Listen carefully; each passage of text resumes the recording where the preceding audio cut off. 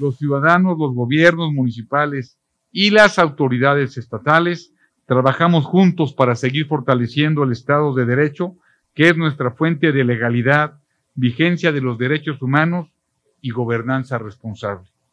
Esta alianza con la ciudadanía es nuestra fortaleza para mantener la tranquilidad y paz en el Estado.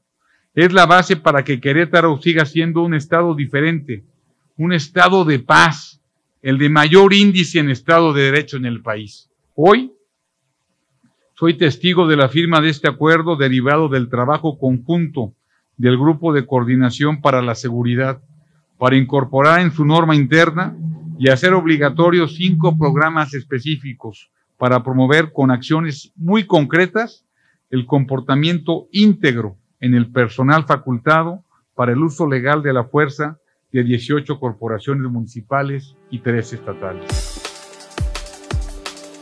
Más información en ladehoy.com.mx.